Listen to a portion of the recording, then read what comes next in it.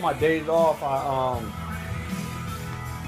I'm saying off from working out. I work I work just about every day, 12 hours a day. But anyway, look, um, foam roll, a little tip on the uh, on the uh, on the foam roll.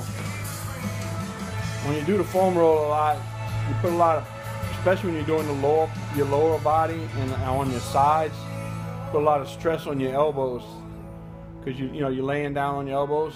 You take the uh, when you're using a foam roll get a basketball or soccer ball, whatever kind of big ball you got, a pillow, and let let if you got a ball, let a little bit of the air out of it, and um, check it out. You hug the um, you hug the basketball instead of putting all that stress on your um, on your elbow. Check it out.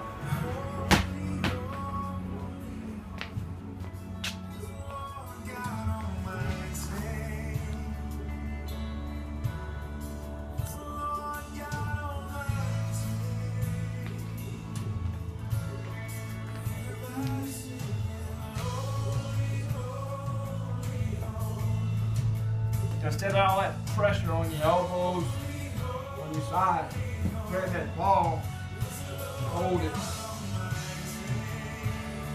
It takes a lot of the stress off your, your elbows. Anytime you're doing anything, you know, you can put your chest on it. It takes a lot of that stress off your, off of just, just elbows and shoulders.